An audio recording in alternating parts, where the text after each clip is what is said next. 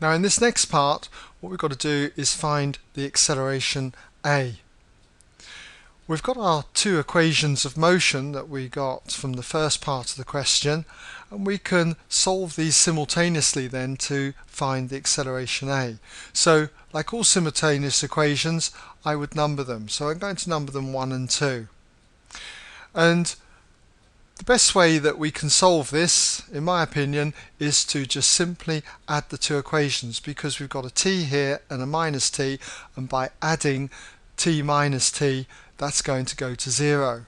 So what I'm going to say then is we're going to add 1 and 2. So 1 plus 2 gives, what does it give us? Okay, well as I say t and minus t cancel out. So we've just got the 2g added to the minus 3g sine 30 so let's just write that down. 2g minus the 3g sine 30 degrees. And that's going to equal 3a plus 2a in other words 5a and if you work this out on your calculator take g as 9.8 the acceleration due to gravity just work this side out and you should find you get 4.9. 4.9 then equals 5a.